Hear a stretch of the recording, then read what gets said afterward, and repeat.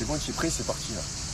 Tu es ok T'as l'impression un petit peu Non, ça va. Et les amis, salut, je suis super content de vous accueillir sur ce live euh, qui est un live exceptionnel parce que ça fait un moment que je voulais vous le présenter. Euh, il fait partie de, de- de mes lecteurs, il fait partie aujourd'hui de mes amis. Euh, c'est quelqu'un qui a un parcours euh, remarquable dans le sport, mais aussi dans euh, la guérison d'une maladie hein, qui aujourd'hui euh, assez mal euh, comprise, c'est le cancer, avec le développement de tumeurs. Et on entend par- parler de beaucoup de choses. hein. On entend parler de ces guérisons miraculeuses, on entend parler euh, du danger aussi des, des protocoles standards comme la chimio, la radiothérapie, etc. Mais on, parle très peu en fait de, la puissance du mental. Quel est le rôle du mental dans, la guérison de- nos maladies? C'est quelqu'un qui a un parcours très riche et euh, bah, je ne vais pas plus vous faire attendre, je vais vous, je vais vous montrer. Vous l'avez euh, déjà rencontré euh, sur ce live il y a, il y a quelques jours. C'est quelqu'un qui vient régulièrement dans mes lives, non pas pour me polluer, mais pour me faire des jokes. hein. Donc euh, là, il la ramène un petit peu moins. Donc on va, ça va être un live quand même euh, très, très sérieux. Merci d'être là. Euh, soyez à l'écoute parce que les informations qu'on va vous transmettre peuvent peut-être vous, vous aider. On est en Provence, on est dans notre club de gym près de Marseille. J'espère que les cigales ne sont pas trop fortes. Je ne peux pas régler le volume, hein. je ne suis pas derrière une table de mixage. Donc j'espère que le son sera bon parce que j'attends beaucoup en fait de, de ce live avec mon ami Brian Courant. Alors, Brian, je vais, euh, je vais quand même euh, récapituler un petit peu ton parcours sportif rapidement. Et on a dit qu'on allait, on a, on a beaucoup de choses à se dire tous les deux. On, on parle beaucoup tous les deux en privé. Euh, mais là, on va se, quand même se focaliser sur, euh, sur la tumeur de ton rein, en fait. Et, euh, et donc, je vais récapituler un peu ton parcours. Parce que ce, ce- ce gars-là a un parcours sportif assez impressionnant. Il a commencé très jeune. Donc, tu es, tu es né à Nice en- dans les années 80. 6, 86. Donc, tu es un garçon des années 80. 1990. Ah. Tout ça. top. Oui, on, on- on en parlera une autre fois de ça. Donc tu as commencé les arts mar- martiaux à 3 ans. C'est ça. Donc j'ai fait ma petite liste parce qu'il a un parcours long comme le bras. hein. Donc tu as les arts martiaux à 3 ans. C'est Ouais. c'est- c'est, euh, c'est étonnant ça de commencer si tôt les, les- les arts martiaux. En fait, c'est que euh, ma mère, elle n'est pas française. Euh, elle est née à Hanoï. Donc, euh, vraie immigrée. Elle euh, ils sont neuf frères. Ils sont neuf frères. Et il y en a quatre qui sont nés à Hanoï. Enfin, neuf frères, neuf, enfants. Ouais. Et il y en a quatre qui sont nés à Hanoï. Il y a eu la guerre. Et après, ils sont, euh, ils sont rentrés en France pendant la guerre d'Indochine. Toi la tu, es né... toi tu es né en France. Moi, je suis né en France. Je suis né à Nice. Ma mère est née là-bas, à Hanoï. Et du coup, en fait, les arts martiaux étaient toujours très présents. Toujours très présents par rapport à notre vie, etc. Autant, euh, tu sais, pour le.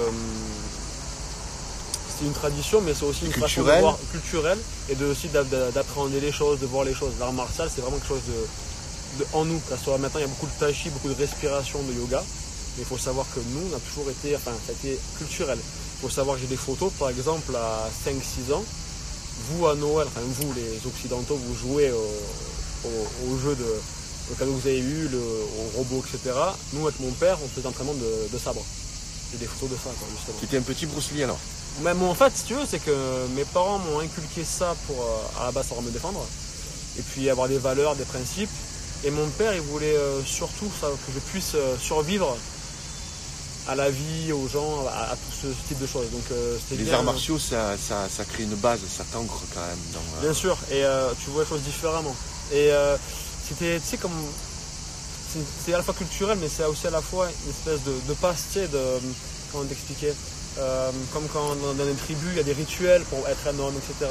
Nous, c'est comme ça. Nous, ça fait partie de. C'est des rituels où il faut que tu fasses euh, tes preuves chaque jour, euh, dont le tatouage que j'ai sur le corps, etc.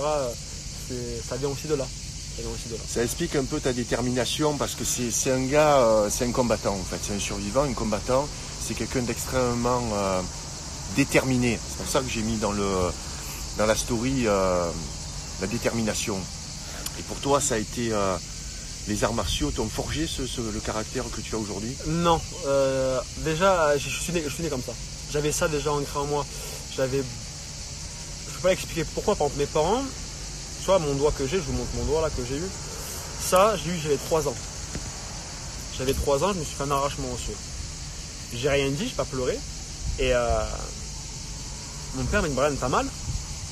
J'ai dit oui. Il m'a dit, mais pleure, bordel. J'avais aucune émotion, déjà très dur à la base. Déjà à la base, très dur, on m'a toujours dit que t'étais insolent. J'avais pas ce côté orgueilleux, mais Résistance à la douleur non, c'était un tout. Être digne, être fier. Mais très enfant, j'avais 3 ans. Exemple, une fois, on habitait à Anjou. Je connais Anjou. Donc, euh, on n'est pas loin. Il y avait une piscine. Il y avait des hommes qui chahutaient, euh, qui envoyaient les, les gens tu sais, dans, dans l'eau, des hommes. Ouais.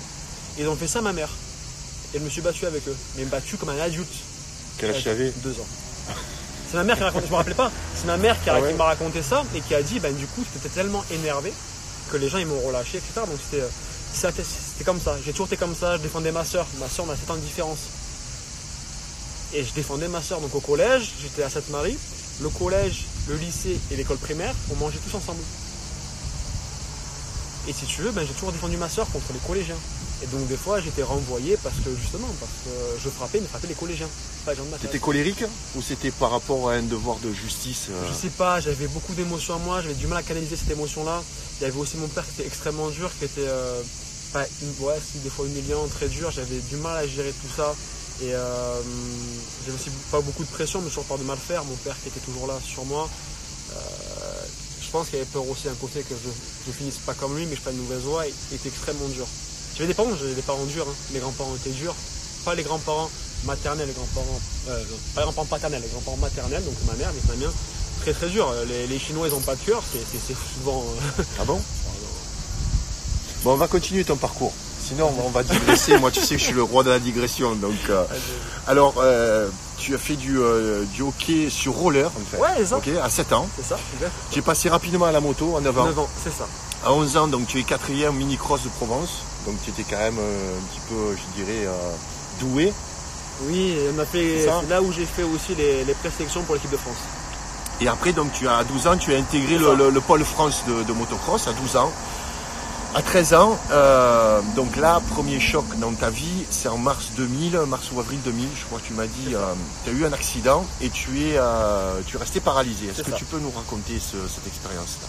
Euh, alors, qui va, qui va quand même expliquer beaucoup de choses par la suite. On est là pour, euh, pour le traitement de son cancer, mais il va falloir que vous compreniez quel est, euh, quel est ce, ce bonhomme, voilà, la mentalité qu'il a.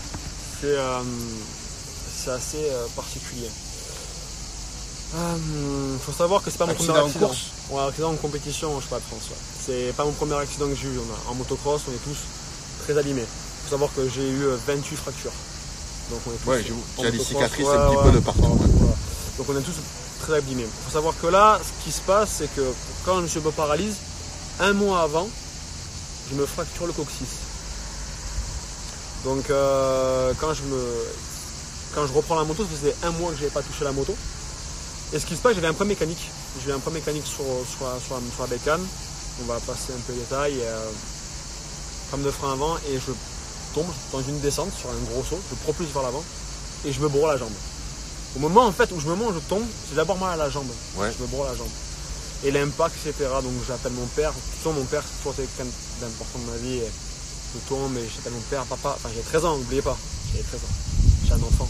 Je viens, d'avoir 13 ans. Parce que je suis de novembre, donc je viens juste d'avoir 13 ans. J'étais vraiment. J'appelle mon père, je hurle. Et en fait, on me, on m'évacue, un- on me fait une transfusion de morphine. Ma mère me dit, Brian, on voit pas ta jambe, on voit pas ta jambe. Bien sûr, je regarde et j'avais les jambes à l'équerre. Et en fait, je on me disait, euh, bouge tes pieds. Vous savez, on se rend pas compte de cette époque-là, mais j'arrivais pas à bouger les pieds. Et ce qui s'est passé, Les deux jambes. et ce qui s'est passé en fait, j'ai eu une, je, vous, je vais vous expliquer vite fait, c'est que j'ai eu une, euh, une, euh, une compression dans mon épinière par rapport aux vertèbres. En partie, ça c'était pas trop important parce qu'ils disaient après ça va revenir. Eux c'est pas danger. Mais en fait, ce qui s'est passé, c'est que quand je suis tombé, ma jambe m'a arraché en fait, euh, elle m'a fait une fracture tibiale péronée au niveau de la tête, euh, au niveau de la tête du genou, en fait tout en haut. La jambe est partie sur la droite et m'a arraché ligament externe, interne croisé, rotulien, et m'a chopé le SPE. Et m'a fait une hémorragie interne en m'arrachant le mollet. Et ce qui se passe, c'était à l'hôpital de Figeac, et les gens m'opéraient et m'ont réduit la fracture. Donc je suis resté pendant trois jours avec l'hémorragie interne dans la jambe. Je suis arrivé à l'époque, c'était à la Casamance, donc en 2000, opération d'urgence, et là c'était un vrai cauchemar. Pendant, pendant jusqu'à il n'y a pas longtemps, même encore, me suis refait opérer du genou. Euh, hémorragie interne, on m'a dit, on m'a dit à la mère que. Je ne marcherai plus, non? On m'a dit mère, on marcherait plus. On m'a dit, oublie la moto, oublie tout ça. Et toi, quelle était ta réaction quand on te l'a appris euh, ta, ta mère te l'a dit? Tu avais des chances de plus, de plus pouvoir remarcher? Non, enfin, c'est les médecins qui m'ont dit. C'est les médecins qui m'ont dit. médecins. C'est les médecins qui m'ont dit. Et à l'époque, il y avait un monsieur qui s'appelait Pierre Tauroyan. Pierre Tauroyan, qui était à l'époque euh, médecin urgentiste à, à Aubagne. C'est le seul médecin qui a dit Ne t'inquiète pas, Marie, ton fils va remarcher. Parce qu'il m'avait suivi quand j'avais 6 ans, Ok depuis les fractures, et il a vu que j'avais euh, ce truc. euh, Mental pas le mental, la, la hargne, l'orgueil, tu vois. Ok. Tu m'as parlé de haine tout à l'heure. Vrai. Donc tout ça, ça t'a ça t'a motivé en fait à, En fait, c'est ça, c'est que à guérir? Je sais pas. Je sais pas si c'était la haine qui m'a motivé à guérir. Ça me faisait tellement mal, j'apprenais que par les, par les magazines que mes sponsors me dégageaient. Euh, L'étude de France, c'était pareil, on me mettait aux oubliettes, j'étais un enfant. Ouais. Euh, j'ai fait des- euh, pareil, j'ai fait de la dépendance à la morphine, parce qu'à l'époque, on avait la morphine autour du cou, c'était pas comme maintenant. Donc tu t'injectais la morphine toi-même. Ah bon? Alors je dis, maintenant, c'est comme ça, t'as plus, il y avait un truc. Ouais. Là, à l'époque, non, tu avais un truc autour du cou, tu avais une seringue qui te l'envoyait. J'avais tellement mal que j'envoyais sans arrêt. Le soir, comme si ta maison nerveuse qui repoussait, ça m'envoyait des décharges électriques dans la jambe, dans le dos, de partout. J'avais des. ah, c'est un peu violent, hein. j'avais des, des- Ici au niveau des tempes, j'ai fait deux trous ici, avec du poids derrière. Et on me tirait, en fait, on me tirait le, le crâne, Le crâne pour décompresser. Ok. Et, Tu es euh, resté combien de temps dans cet état? Alors. Ouais, ma, ma veste qui fait un peu chaud. Euh, paralysé, paralysé, un an et demi. J'ai repris la Un an et demi Ouais. paralysé. J'avais, j'ai repris la moto, j'avais encore le pied paralysé. Donc euh, en fait, euh, donc un an et demi après, tu reprends en fait le motocross. ouais, j'ai encore pied paralysé, avait mis une attelle, etc. Mis Et, et, euh, deux ans après, 2003, tu deviens vice-champion du monde. C'est ça, pareil. à 17 en- ans. en équipe- avec l'équipe Tu reviens de loin. France, Prix de Nation Espoir, avec Brian Régnier, son meilleur ami, Mhm. on roule ensemble, mon meilleur ami qui a le même prénom que moi. Et je fais vice-champion du monde. Tu es vice-champion du monde. Ensuite, tu passes au super motard. Ouais, c'est ça. Là, tu es cinquième champion du monde euh, en Ah, KTM chez Red Bull. Chez Red Bull, c'est ça. Et, euh, et en 2007, en fait, tu arrêtes la moto et commence, tu as commencé à avoir des doutes et des, des, des- des interrogations. Pour, pourquoi tu, tu- tu arrêtes ce sport? Parce que ça me. À un moment donné. Pardon. Pardon, pardon. Parce qu'à un moment donné, euh, il y a la passion et il y a l'objectivité. Et je me rendais compte des choses. Comment ça se passait dans le, dans, dans le sport. J'ai fait ça toute ma vie. Mais tu es allé vers le professionnalisme. Non, mais j'ai professionnel. T'étais, t'étais Tous mes sports, tous les sports que j'ai fait, j'ai toujours été professionnel. Mais il y a Oui. être haut niveau et le vrai professionnel. Pour moi, un professionnel, c'est quelqu'un qui gagne sa vie de ce qu'il fait. Exactement. À partir du moment où tu ne gagnes pas ta vie par rapport. Non, c'est pas du professionnalisme, c'est du haut niveau. Donc Red Bull, c'était mon plus gros, ma plus grosse écurie. Je gagnais Ouais. pas d'argent, mais j'en perdais pas. Ok. Ça te finançait en fait les, les courses. Les et, euh, déplacements, etc., ouais, l'hôtel, euh, tout ce que tu voulais, mais je gagnais pas d'argent avec ça. D'accord. Quand tu arrives à l'époque, j'avais 22 ans, 23 ans, tu te dis, euh, ouais, c'est bien ma vie, j'ai fait tout ça, mais il faut que je mange. Ouais. Il faut que tu prends l'utilité, il faut que je construise quelque chose maintenant. Ouais. Et là, en fait, donc tu, tu décides de, de partir aux États-Unis, c'est ça? Alors non, Ou alors tu te lances dans le En mannequinat deux- Ah, ça, exactement. Acheter un mannequinat, etc. Je suis parti aux US en 2010. Ok. D'ailleurs, euh, Et- ce que tu as pris là-bas, là, ce que tu as, c'est tout ce que j'ai. euh, ouais, tu peux prendre, vas-y, tu peux prendre. Ouais, je prends de quoi ton bordel de sac Non, parce qu'il faut que je vous explique. Déjà, on a un support là pour, pour faire la vidéo. Donc la table est trop basse. Il m'a apporté son pot de protéines. parce qu'il se trimballe toujours avec un pot de protéines dans un espèce de sac. Regarde, j'ai montré, j'ai apporté en fait ce que, que ce que je pouvais euh, trim- trimballer. C'est bien compliqué. Donc ça, c'est mon écharpe quand j'ai fait euh, Mister France, euh, j'ai gagné Mister Provence. Ah non, ouais. Alors tu as été Mister France. ouais. Alors là, on passe de la motocross, tu vois, au mannequinat. Mister Provence, tu Voilà. vois. Mister France, tac. Euh, ça c'était Euro Région, tu vois. Euh, Euro Région. Ça c'est quoi des concours de, de beauté, c'est ça Ouais, ouais, Eu- Europe. D'accord.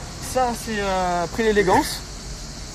Prix d'élégance 2010. Prix de l'élégance. Voilà, tu vois, bon. On voit, es quelqu'un de très élégant. Tu vois, il est tatoué de partout, il est plein de balafres et de. mais- Euh, et après, j'avais mais- euh, aussi Model of the Year. Et ça, tu vois, je crois qu'il aime bien. Alors, je te laisse lire, parce que tu vois que c'est pas du mensonge, je te laisse lire. Ce qui a marqué juste là, si tu arrives. Attends, à- je prends mes lunettes. Ce qui a marqué. Médaille d'honneur Communal. régionale, départementale, Ouais. communale. Derrière, il y a bien marqué. République française, Brian Courant, liberté, égalité, fraternité. C'est une médaille de quoi De, de, Alors- de- de ville? non, c'est le président à l'époque, M. Chirac, qui me l'a env- qui me l'a envoyé, qui, euh, l'a envoyé à l'Amérique, etc. Ouais. Et, euh, parce que par rapport à ce que j'avais fait, donc justement, j'avais réussi. euh, c'est rare les sportifs qui réussissent à être professionnels et à être bons dans, dans plusieurs domaines. Ok. C'est très rare. Donc, euh, si tu veux, c'est que j'avais réussi en motocross, en super motard. Et quand je l'ai reçu, c'était en, 2000 en 2006, après Red Bull. Et, euh, et je devais partir euh, aux États-Unis. Ok. Tu vois, Et la France m'a jamais rien aidé. Hein. Ça, on m'a jamais aidé. Et il m'avait envoyé ça pour remercier par rapport à ça. Parce que. Voilà. Et, donc, euh, et après, donc, tu arrives aux États-Unis, Ouais, donc 2000, ça. tu continues le mannequinat là-bas, tu, tu es, mannequin pour. On voit que moi là, on voit pas un peu de temps. Pardon? On voit que moi là. C'est pas mal c'est ton, c'est ton live, mon Ah, ami. Donc, Ah, moi, mais- moi, on voit ma gueule tout le temps. Donc, on s'en fout, tu vois. Je suis là pour te mettre en avant. Et c'est, c'est toi qui est intéressant aujourd'hui. Euh, tu, tu, tu, tu attaques de fait du, euh, du, sport de combat, du MMA, c'est ça? Ouais, c'est arrivé ça Tu fais des combats. euh, En, C'est fait, le- c'est que à l'époque, faut bien se rappeler, c'est en 2008-2010. Oui, Il n'y avait pas encore tout ce qui est internet, ce qu'on a maintenant. Hein, Ouais, ouais, ouais, 18, ouais. Il y a quoi? C'est vrai que le MMA était pas On est encore en euh, 2019. ouais. Bon, ça a 19 ans. Euh, ouais. ça non, 9 ans. Ouais. 9 ans. Et euh, si tu veux, c'est que quand je suis arrivé là-bas. eu envie de reprendre des sports de combat? Non, en fait, c'est un truc trop bête. J'étais à Hooters. Tu connais Hooters, toi? Mhm. Voilà. Bon, les gens ne connaissent pas Hooters, mais c'est un espèce de, de restaurant, un fast-food. Il n'y a que des filles qui vous servent et qui vous parlent. C'est un peu bizarre. C'est très sympathique. c'est assez bizarre. Et euh, ils faisaient leur combat, leur combat de, en cage euh, chaque année. Savoir qu'aux US, tu vas dans un restaurant, dans un bar, enfin dans un restaurant, dans un bar, etc. Il y a toujours une cage pour boxer et tu gagnes des sous. Enfin, les mecs parient sur toi et tu gagnes n'importe qui. Et je dis ouais, pour le délire, je vais faire. En fait, j'ai gagné. ok, d'accord. J'ai gagné en fait. Et euh, ce, qui était, ce qui était drôle, c'est que euh, c'était pas prévu. Pas prévu. Et en fait, j'ai accroché comme ça. J'ai accroché là-dedans et, euh, et je suis parti là-dedans. Et je suis revenu avec trois ceintures, une en chocolat. Enfin, une, on dit en chocolat, c'est des ceintures qui valent rien quoi. Ok. euh, voilà, Ouais, pas sentation. d'accord. Une en chocolat et deux nationales de- Ok. de- d'État en fait.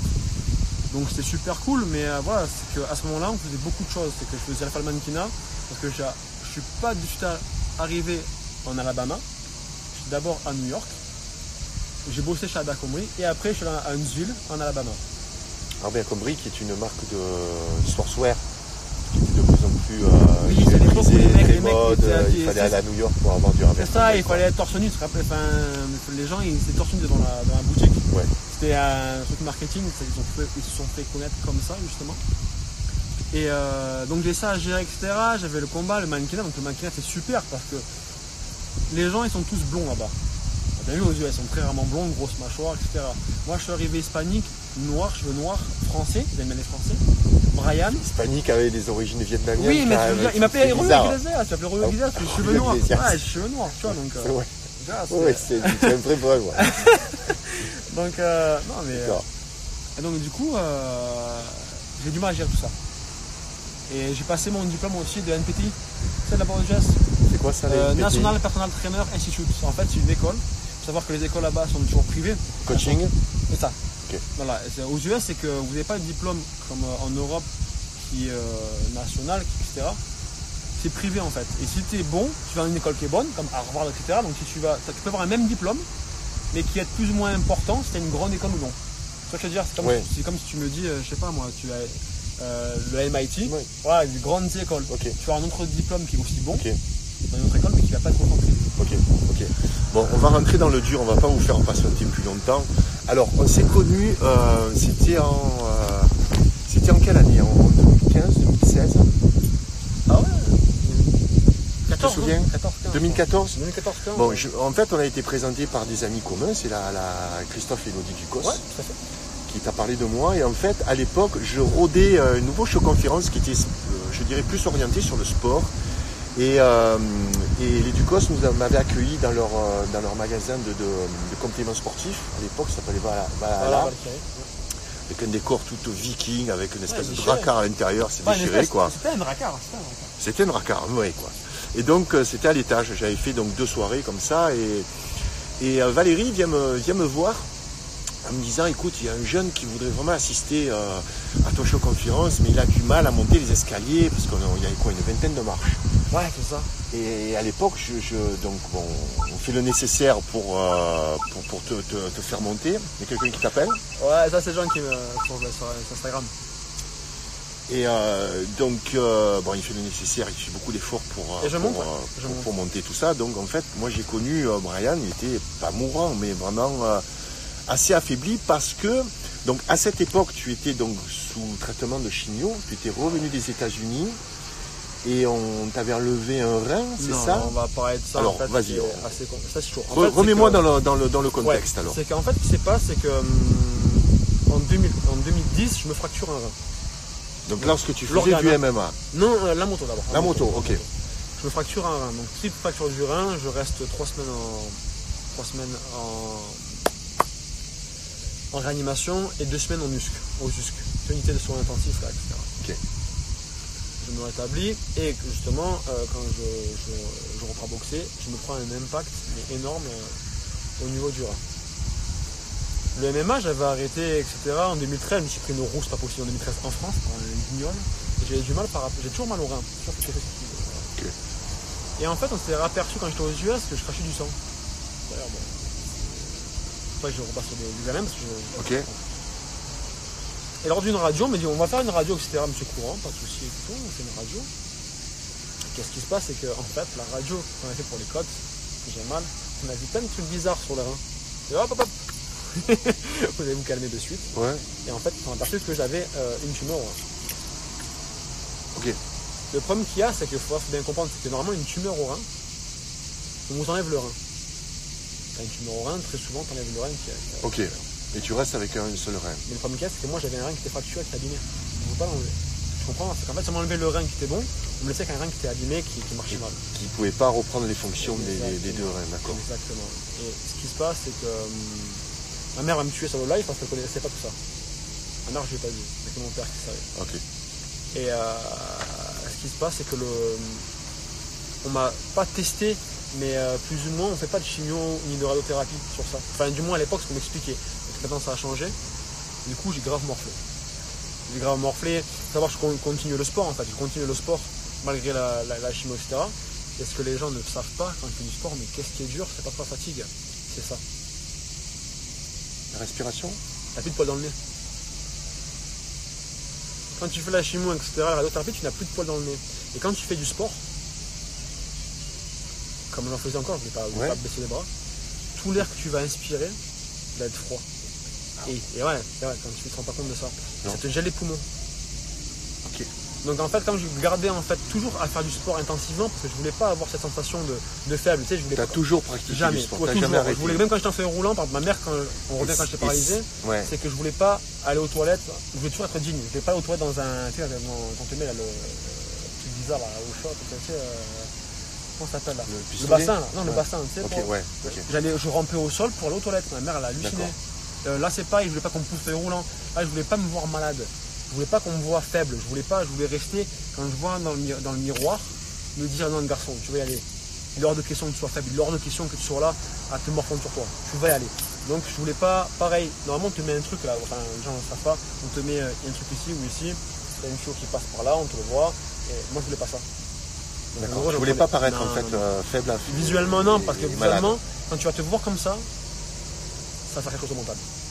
Pareil, pourquoi je l'ai pas dit à mes parents Parce que quand tu. C'est moi. C'est pas pareil pour tout le monde, Ouais. c'est moi. Ouais. Mais quand tu vas dire aux gens, dans ton entourage, je suis malade, il y a ci, il y a ça, il y a ça. Tu attires la compassion. et Oui, mais rien, on va dire sans arrêt, alors ça se passe comment? Alors t'as bien fait ci, alors t'as bien fait ça, et ça, ça me saoule. Ça me saoule ça. Comme ils t'as fait ça, c'est bon. J'ai, à l'époque, j'avais 30 ans, c'est ce que j'ai à faire. C'est ce que j'ai à faire. J'ai réussi à remarcher, j'ai remarché, je vais faire ça, j'ai refait ça. Le rein, tu vas mourir avant pour le fracture du rein, mais tu vas mourir. Hein. Ah ouais, t'as raison, je suis pas mort. Et trois semaines après, un mois après, j'allais faire du ski. hein, donc voilà. Et là, le truc qui, fa- qui se passe, c'est que je voulais pas qu'on vienne me saouler à me dire t'as fait ça, t'as fait ça, parce que les parents, c'est normal, ils s'inquiètent. Mais les trucs qui allaient, ça allait m'énerver. Et il fallait surtout pas que je sois dans un état d'esprit énervé, agressif, euh, doute. Jamais. Donc du coup, c'est pour ça que, hum, ben, je dis ça à personne. Il y avait que. Alicia à l'époque qui savait. Tu te rappelles C'était d'Alicia ta compagne, ouais. Ouais, ouais. Et euh, à l'époque, est-ce que tu prenais, euh, avant qu'on se rencontre, avant que tu vois le show conférence, avant qu'on discute tous les deux, parce qu'après on, on s'est vu, euh, on a beaucoup échangé, est-ce que tu avais conscience du, du- du pouvoir de l'alimentation? Est-ce que tu avais conscience qu'il peut y avoir aussi Euh, des choses euh, complémentaires à la chimie Non, non, pas du tout. Ben, c'est pareil, c'est que, que je vais guérir, c'est sûr. Je vais guérir, c'est sûr. Guérir, que ce soit avec la chimio ou ce que tu veux, je vais guérir, je le sais que je vais guérir. Le problème qu'il y a, euh, Tu as été sous traitement quand même pendant euh, plus, plus d'un an. hein. et Alissa me disait, mais tu enfin, Alissa me toujours, tu sens le chimique. J'étais jaune, tu sais.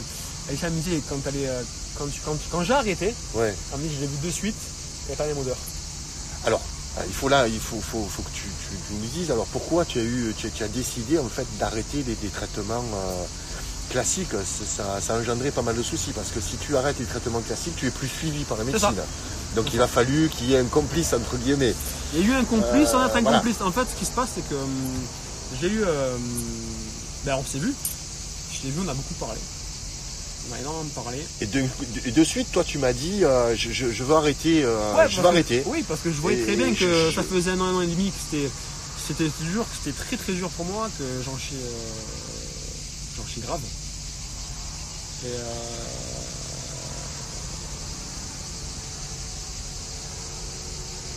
C'est une décision quand même pas, qui, quand qui tu m'as est, dit, euh, quand tu m'as C'est quoi euh, C'est une décision instinctive? Parce que je sais que toi, tu as l'instinct Ouais, animal. c'est ça. C'est quand tu m'as dit, Brian, il y a ça, il y a d'autres façons de faire, Là. ça. Ok, pas de souci, on va voir. Je sentais qu'il y avait, que voilà. Et je Et, t'ai euh, toujours dit, c'est la décision, tu dois la prendre toi. Moi, je voulais pas être impliqué. Bien sûr, non, non, non, mais- euh, oui, bien sûr, pas, pas que. T'es même allé beaucoup plus loin que, que- Oui. voilà. ouais. ça, ça, ça, ça, on va y venir tout à l'heure. ouais. Mais, euh, ouais, mais non, mais c'était. euh, moi, quand j'ai une trou dans la tête, de toute façon, je l'ai pas ailleurs. Et, euh, et voilà, j'allais guérir, de toute façon. J'allais guérir, je le savais. Et c'était important, j'avais mal, j'en pouvais plus, j'avais mal au rein. Je... Faut savoir que voilà, c'est que les gens ils se plaignent, je vais vous dire un plus bête, les gens, ils se... ça fait très mal quand t'as du sang dans les urines. Quand t'as une goutte de sang, quoi, t'as mal. Ah ouais Ouais. Ok. Souvent quand on te dit que t'as un truc là, je sais pas comment ça s'appelle, le truc au rein là, t'as un peu mal. Ils ont un peu de sang dans les urines, ils ont mal. Moi j'ai pas un peu de sang. Moi j'avais que. J'allais aux toilettes, du sang. Ah ouais, ok. J'avais du sang qui sortait, il n'y a pas d'urine. Donc euh, ouais. Donc t'avais mal, tu voyais pas d'amélioration. Il y avait une amélioration. Il y avait une amélioration, Ok. mais j'en chiais beaucoup.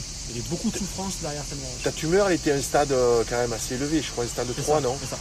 Euh, stade 3, on en est est-ce sur un que- stade 3. Ok, un stade 3. Est-ce qu'on t'a donné des conseils alimentaires? Est-ce qu'on t'a donné des. des, euh, Est-ce qu'on t'a conseillé de, de prendre certaines choses, de manger différemment? Non, jamais. Et on en reparlera par rapport à mon père de ça justement. Son père a eu un Ouais. cancer aussi.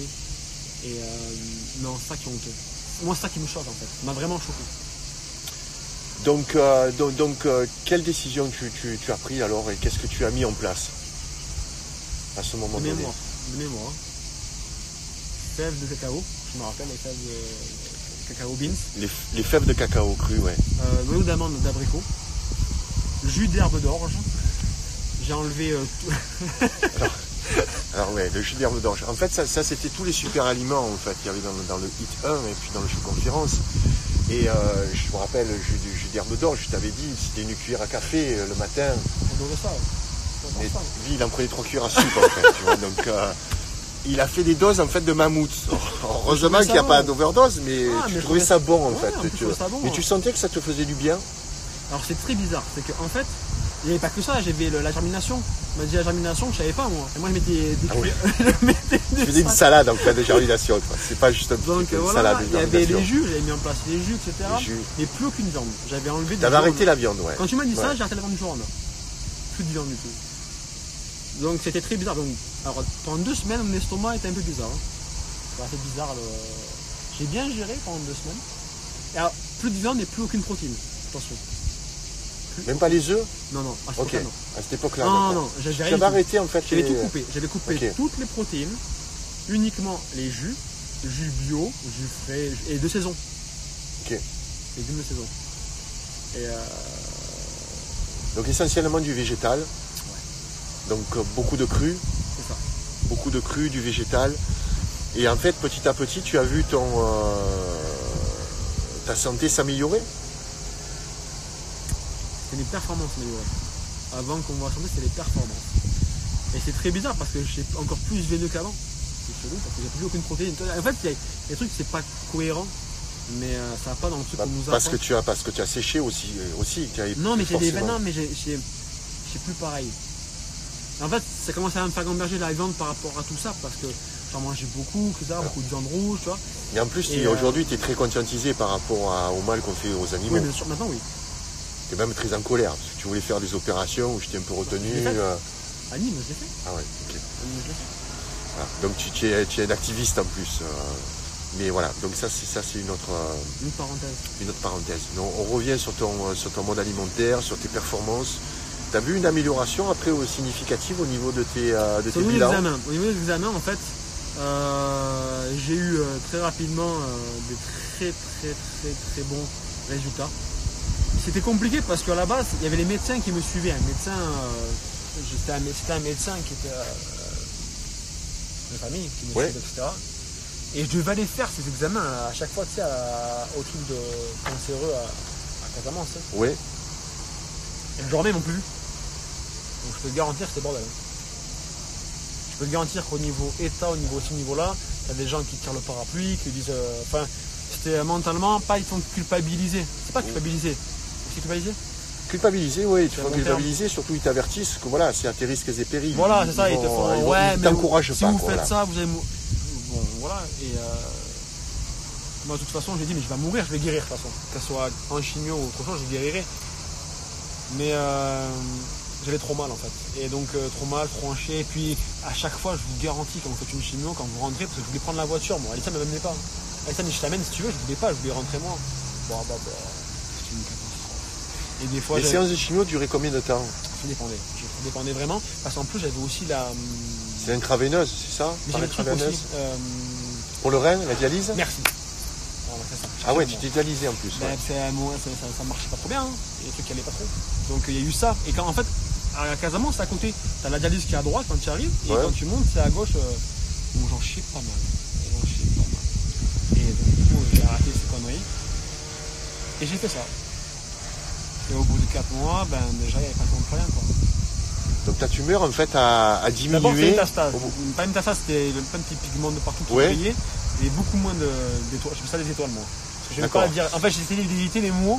Métastase, Qui faisait flipper- qui flipper, en fait. flipper, ouais. Tu vois, tous ces mots que, Ouais, ouais. dangereux pour le mental qui te. Ouais. Ça, les gremlins, moi. Ouais, ouais. Tout ce qui perturbe le mental, c'est ça des gremlins. Tous les jours. La peur, le doute, ce que tu veux. Et ces gremlins, c'est me, c'est me ronger le cerveau. Donc, je trouvais d'autres mots pour pas me. Donc ces étoiles ont petit à petit ont disparu. C'est ça. C'est ça. Et la tumeur a diminué, elle est passée du Oui, stade. en fait. En fait, il n'y a, a- plus de transition. Ok. Il n'y a plus de transition, il y a eu ça, on n'a refait plus rien. Est-ce que tu as eu un retour par rapport à Non, aucune. au Aucun. docteur qui te suivait tout ça Non, non, il a dit. euh, ben, en fait, c'est très bizarre parce que quand vous avez ça, ils, vont vous dire, enfin, ils vont vous dire- ils m'ont dit, ils m'ont dit euh, que c'était. euh, de toute façon, j'avais un mental, que j'aurais guéri de toute façon, et que vu que ça faisait un an que j'avais fait ça, que c'était. euh, voilà. C'est la résultante de tous avait, il y avait eu ça, il y avait eu ça. Je pense que, on va dire que peut-être qu'il y avait eu ça aussi. Ok. Mais- Parce que j'aime pas Ouais. dire euh, peut-être, mais rien qu'à la base, le fait d'avoir, de m'être réalimenté, c'est différent. Parce que je l'ai vu, parce que quand je me suis fait opérer, il faut savoir que depuis, je ne prenais jamais de médicaments. Dès que j'ai fait mon overdose de morphine, quand j'ai eu mal, je n'ai plus touché un médicament de ma vie. Ok. Et ce qui se passe, c'est que je ne prenais pas de médicaments et je me suis toujours cicatrisé très rapidement, uniquement, en, en prenant pas de médicaments, en mangeant tu sais, des jus, en faisant ça.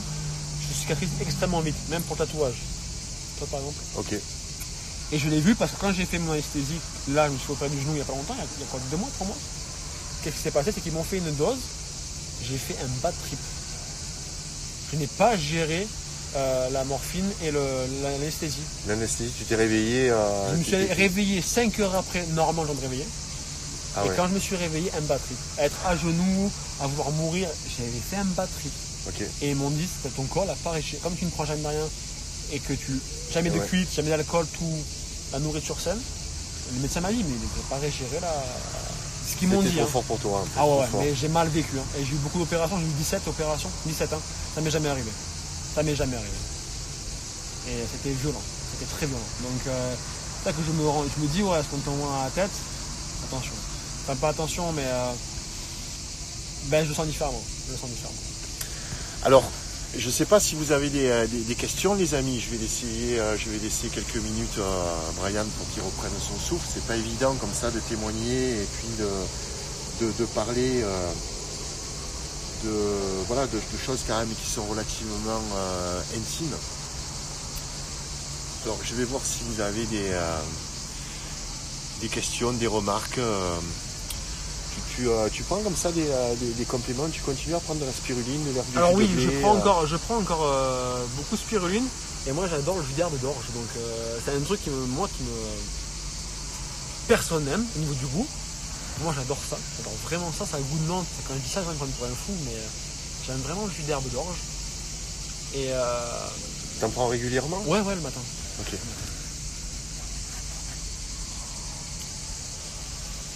Alors, euh, il paraît que, alors il paraît que, on m'a dit, euh, il faut, ouais, il faut remonter aux sources quand même. hein. La vitamine Ouais, C pure à haute dose est efficace. Faites attention à tous ces témoignages-là. Appuyez-vous sur des gens que vous connaissez. Moi, je connais Brian. Euh, voilà, je, je peux, je peux m'appuyer sur son témoignage. Et puis après, tout le reste, il y a beaucoup de narratifs. Faites attention à tout ça.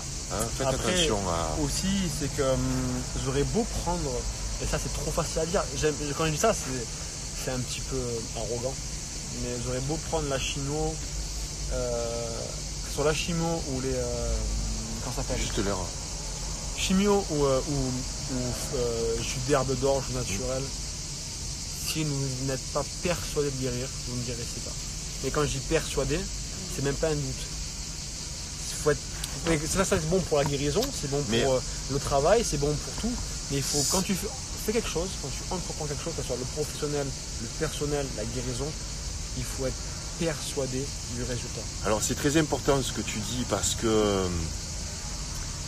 on ne peut pas prendre ton cas comme, euh, comme un exemple, tu vois, on ne pourra pas faire la même chose que tu as fait si on n'a pas ton mental. Et tu vois, tu as un mental, je l'ai dit, je le redis, qui est exceptionnel, tu as une force mentale exceptionnelle.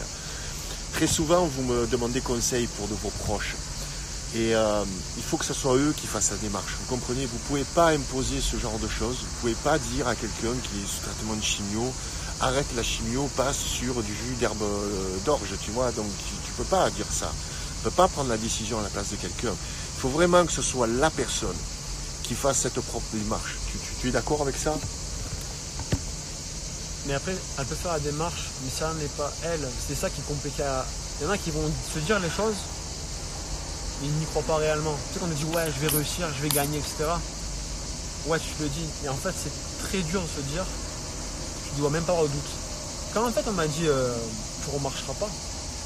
Mais en fait, j'ai même pas entendu. Je me dis, mais qu'est-ce qu'il raconte lui? Ça m'a même pas traversé l'esprit à un moment donné que j'allais rater ou j'allais euh, pas réussir. Ça m'a même Ça t'a pas fait douter. non, je n'ai jamais, mais c'est même pas traversé l'esprit de peut-être je n'ai pas remarché ou que peut-être je n'avais pas réussi à ça. Mais la plupart des personnes, en fait, sont, euh, sont pas dans ton cas, en fait. Par exemple, lorsqu'on annonce une maladie, lorsqu'on annonce, par exemple, vous avez un cancer, chez la plupart des gens, ça accélère la maladie. Là, tous. Enfin, tous. C'est un La, truc la- grande partie. des Bah, gens. ben, moi, j'ai vu avec mon père. Voilà, c'est c'est très proche. J'ai perdu mon père euh, et, euh, il y a 4 mois. 4 mois et euh, c'est très dur. C'est toujours très dur. C'est toujours très dur. Oui, on, on a parlé de ça. Tu sais, je m'intéresse beaucoup à la fin de vie, hein, aux anciens, et puis euh, voilà, aux maladies comme le cancer qui, qui fauche la, la- la- la plupart de nos, de nos proches. Et, euh, et toi, tu as eu une- aussi une démarche qui est euh, très responsable. Tu n'es pas le fils aîné pourtant de, de- de la famille, tu n'es pas l'aîné. Alors, Non? ben, en fait, c'est très dur. J'ai une demi-sœur. Une demi-sœur, mais c'est pas la fille de mon père. On se parle plus là actuellement. On se parle plus. Il y a des trucs euh, dans tous les décès, dans toutes les familles, il y a des problèmes. Et euh, ouais, c'est que en fait, quand mon père est mort, ça faisait un an et demi qu'on se parlait plus. Mon père est mort. En fait, ce qui se passe, c'est que mon père était, comme je dis, on a une relation très particulière. Mon père était néfaste pour moi. Néfaste.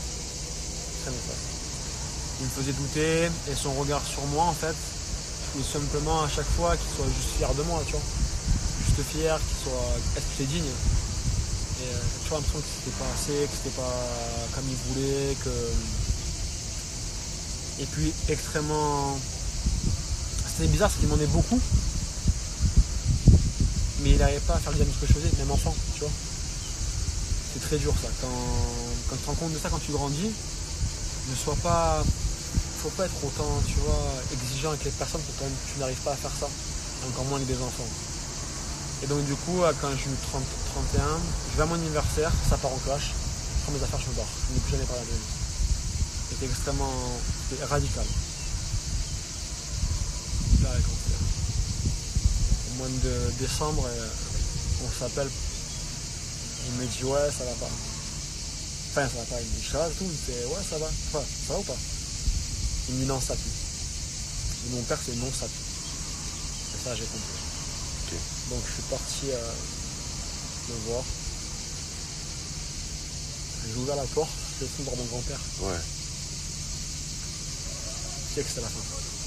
Il avait vieilli, il avait. Euh, ça sent la mort. En fait, j'ai vécu tellement longtemps dans les hôpitaux ouais.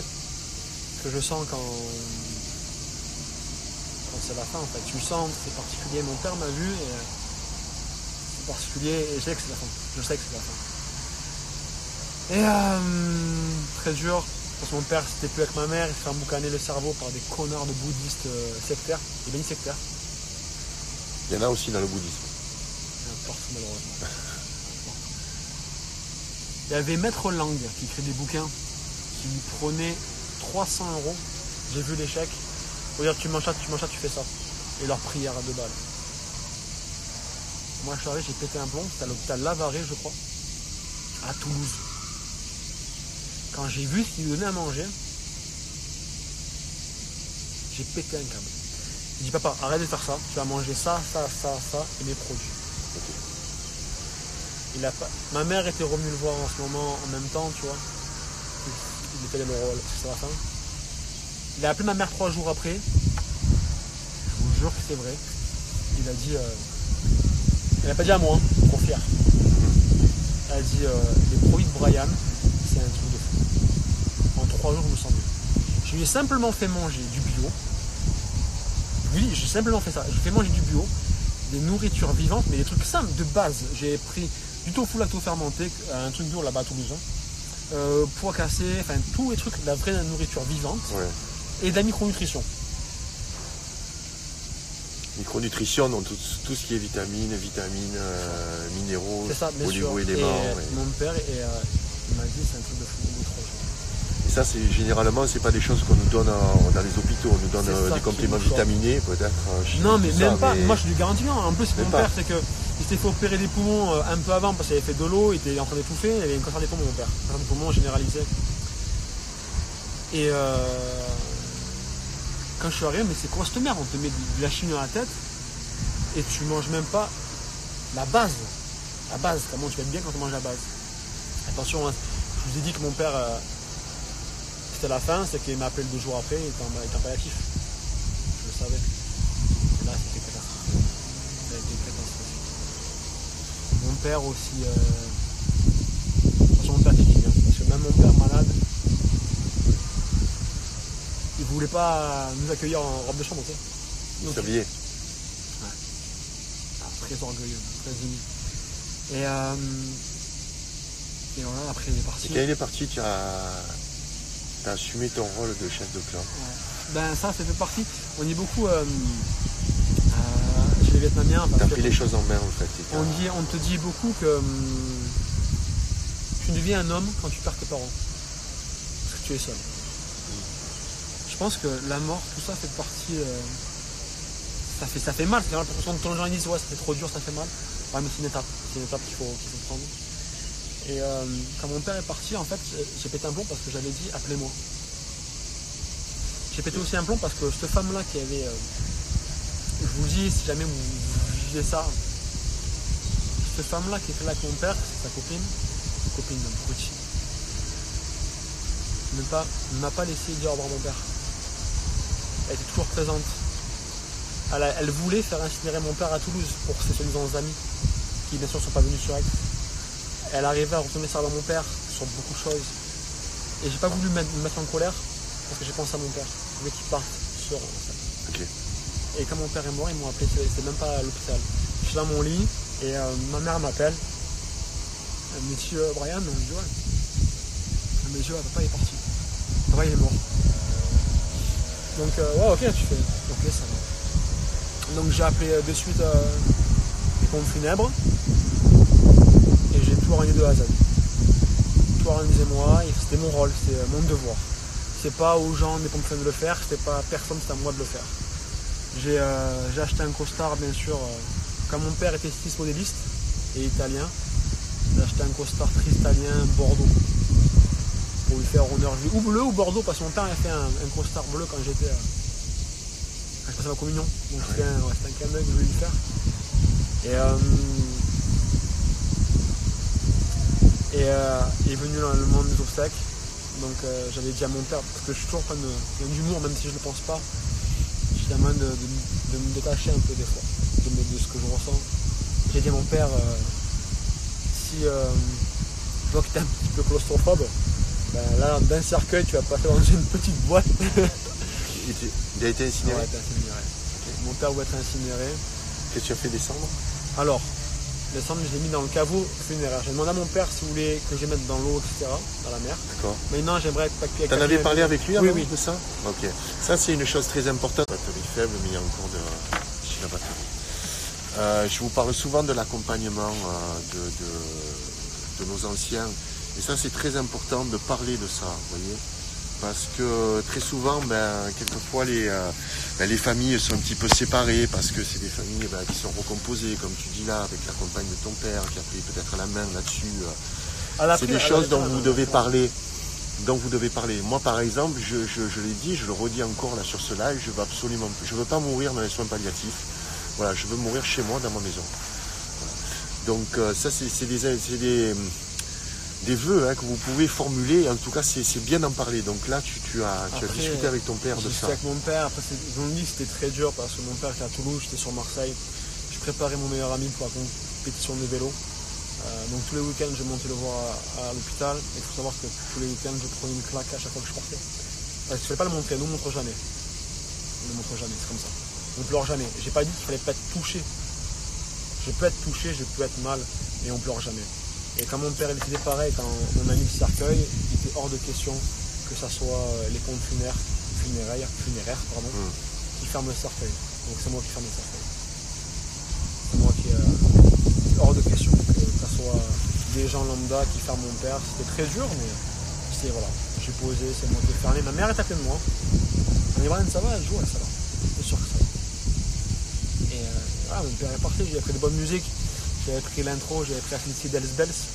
Parce que ACDC Dells Bells, c'était la musique qu'on a vue, qu'on aimait bien. Ah ouais? Vous aimez bien tous les deux, Ah oui, ça oui, bien sûr. Mon père, mon père m'a inculqué la, la musique vraiment. Fan de Toto, Super Tramp, Led Zeppelin, Ah bon? Def Leppard, ce truc-là. Et en fait, c'est qu'au Grand Prix des Nations de moto en 2000, quand les pilotes de moto arrivaient sur le départ, et il y avait le ACDC à Bells. Et moi, c'était hors de question que je fasse un, un enterrement avec euh, des musiques de fiottes. Là. Tu vois, le truc. euh, non. Donc j'ai mis ACDC Del Bells. Après, j'avais mis euh, Peter Gabriel Ah ouais, et Rose ah ouais. pour finir. Ah. C'est Heroes de Peter Gabriel. Ouais. J'avais mis euh, euh, Purple Rain de The Prince c'est ça. Et euh, Trust. Ah bon? De quoi de Trust? J'avais mis le mitard. Ah ouais. Le mitard, c'est sur euh, Mesrine en fait. C'est, euh, je Et, savais pas euh, que tu aimais ces, ces y styles-là a de le musique. mitard euh, et que ça, là, à un moment donné, il y a un moment donné, allez frappe, on frappe. Ouais. Et t'as le. Et quand en fait, quand le cercueil part, je voulais pas que on soit faible. que je- Donc tu vois, quand il dit allez frappe, Ah ouais. on frappe, j'ai mis la musique elle partait à ce moment-là, et mon père est parti avec cette musique-là. Oh. Mais euh, restez fier, restez digne. Hors de question que. Il y a le, morceau de saxophone, tu vois, derrière. Ouais, ouais. Ouais, ouais, je vois très très bien ce morceau. Donc voilà, Je fais je crois. C'est le premier ou deuxième album. Donc, euh, donc Et, tu vois, il était hors de question que, que mon père soit ça et Bowie. Ok. Et- Heroes. Non, Peter Heroes. C'est une reprise, parce que euh, Heroes, c'est le titre Je de sais, Bowie. ouais, ouais. Peter Gabriel, il a fait une reprise. Ah, une reprise, il avait fait une reprise de Heroes, je connais pas. Je connais la Heroes de vrai. Je finissais mon show conférence Ouais, je vois très bien. de Ouais, bien sûr, mais Peter Gabriel a fait euh, Ah ok, The Heroes. des artistes euh, fabuleux ça. Avec Bowie, c'était euh, Let's Dance. Mon père adorait Ah, ok. Et, euh, sur- et donc j'ai hésité, donc j'ai mis Let's Dance et. Euh... Et Heroes, t'as raison, que Dolphin, que Dolphin. Eh T'as ouais, raison, eh bien sûr. J'ai mis les deux. Voilà. Euh, écoutez, euh, on va arriver à la fin de cette, de cette heure. Alors, euh, vous avez le lien de Brian. Si vous avez envie de lui poser des questions, euh, je pense qu'il se fera un plaisir de, de- de répondre. Tu, tu- tu réponds sur ton Oui, bien Instagram, sûr. tu- Après, voilà. euh, pareil, il nous j'avais porté, mené, alors- les, les examens du rein parce que Et alors, voilà, il- y a beaucoup de gens qui parlent pour rien dire et qui tchatchent, qui vont vous dire des conneries. Donc j'avais le problème de rein. Là, faut savoir que, hop, voilà. J'ai- J'étais venu passer pour les, les- il n'y a pas longtemps ça, les. Et on a vu mon rein, tu vois. C'est du rein. Ok. Mais t'as un rein qui est vachement gros là. Ouais. Donc ça qui nous a inquiété. C'est ton rein actuel. Ouais, ça c'est mon rein actuel. Il est deux fois plus gros que Donc ça nous a inquiété, ouais. on ne comprenait pas trop. Donc les gens ne savaient pas trop ce qu'il y avait. Là c'est actuellement, j'ai pas ça quoi. Bah, Ça c'est actuellement. Ouais, c'est actuellement. Mais il va bien ton rein. en fait. Alors c'est ça le truc. Les gens avaient peur. Et ce qui fait peur aux gens, c'est qu'ils m'ont dit, un, un- un néphrologue m'a dit, Ouais. ouais, moi ce qui me fait peur, c'est pas trop que ça soit plus gros, ça peut arriver. C'est surtout qu'il soit des taches qui soient noires par rapport à l'autre. Ouais. C'est ça. Ouais. Donc voir peut-être qu'il filtre moins bien que l'autre. Donc par rapport à ça, qu'est-ce que j'ai fait? Voilà, c'est là. J'ai passé euh, échographie. Donc l'échographie. Résultat, les coupes au niveau de la vessie ne montrent aucune anomalie à son niveau ou en arrière de celle-ci. Absence d'épanchement au sein du cul de sac de Douglas, je sais pas qui c'est, Douglas. Pas d'appétissement focal suspect des pores vésicales. Les deux reins sont de taille normale, de contour régulier. Et différenciation cortico-sinusale est normale. Donc, tac, tac. Échographie normale. échographie normale en fait. Et Même là, si tu as un c'est rein ça. qui est, qui, est, qui est beaucoup plus gros et, euh, Et là, j'ai passé après. Euh, alors, mais après, j'avais passé. Je sais pas où j'ai mis, je crois que je n'ai pas avoir mis. euh, j'ai passé aussi un examen euh, urinaire pour voir euh, justement euh, qu'est-ce qu'il y avait au niveau urinaire. Donc, euh, est-ce que je vois si je l'ai pas mis là? Parce que je l'ai oublié à la maison.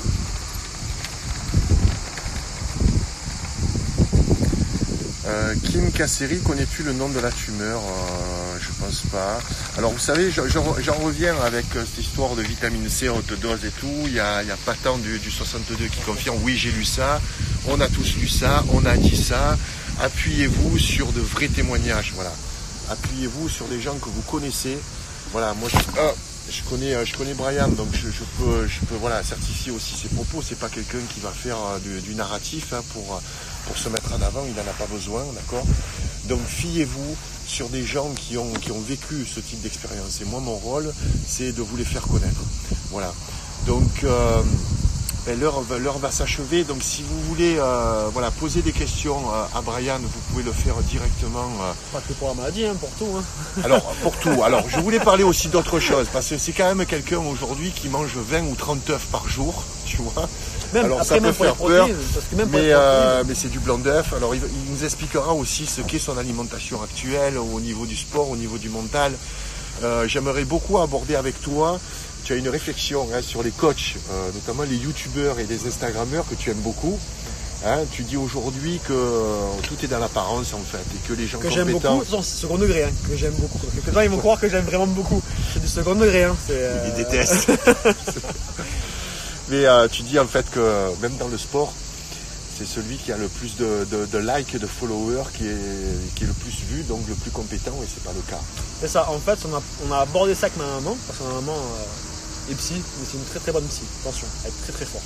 C'est même la meilleure que j'ai vue, sauf pour ses enfants. Et euh, on, a, on a dit maintenant, ce qui fait vendre, c'est le narcissisme, et non la compétence. Et qu'à soit Instagram ou le reste, maintenant, c'est.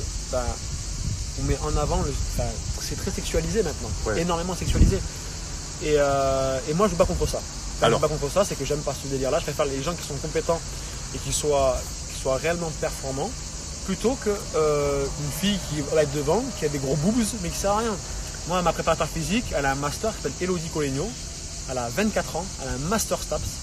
Donc elle a installé un master. Elle s'occupe de tout ce qui est réhabilitation de sportifs de haut niveau. Et ben elle n'est pas connue sur Instagram, rien, mais c'est une tueuse à gage. C'est un meilleur entraîneur que j'ai eu, Alors, on parlera de tout ça. L'heure s'achève. Je vais enregistrer sur live pour peut-être l'installer sur la chaîne YouTube. En tout cas, vous avez 24 heures pour, pour, le voir. merci à vous de, nous avoir suivis. Vous avez été nombreux là sur, ce live à, nous suivre. Merci d'avoir été au rendez-vous. J'espère que ça vous a intéressé. Je ferai d'autres lives avec, avec Brian, notamment sur ce narcissisme, sur le sport, sur ce que tu pourras nous apporter aussi au niveau du mental et sur aussi sa philosophie, parce que je l'adore. La philosophie, oui, qui vient un petit peu, je dirais, de, de, l'Asie, hein, philosophie asiatique, hein, des réflexions sur la vie, la mort. Donc tu as beaucoup de choses intéressantes. Merci beaucoup à toi de, nous avoir. Ben, merci à vous. J'espère que j'ai bien articulé parce que j'ai des problèmes d'articulation dû à mes, euh, à mes impacts, à mes, euh, à mes tout ça. Je prends des, des, des cours d'élocution. Donc c'est dur pour moi, tu le vois que je sais que je m'applique là. Non, non, mais tu t'appliques euh, beaucoup mieux que moi parce que moi aussi, des fois, j'articule mal quand je suis fatigué. Et donc voilà, j'espère euh, que j'ai bien articulé. Si j'ai mal articulé, dites-moi-le. Euh, je vais faire attention à ça et, voilà. Non, tu as été très clair. Merci pour ton témoignage, ami. Merci beaucoup. Merci, c'était fantastique. Donc voilà, il va revenir. Moi, j'aime bien avoir des invités. Je ne veux pas faire du one shot, tu comprends? Je veux le, voilà, que vous appreniez aussi à le connaître comme je le connais. C'est vraiment aimé comme ça. Prenez soin de vous les amis, soyez prévoyants, on se reparle sûrement dans le week-end. J'aurai l'occasion, ben, ce week-end, je vais accueillir ben, une petite fille de notre famille hein, qui, vit à l'île de la Réunion, voilà, qui s'appelle Eden, qui est juste une petite fille géniale et qui a 13 ans, donc je vous ferai profiter de ça, de, euh, de notre week-end avec elle. Salut les amis, à bientôt.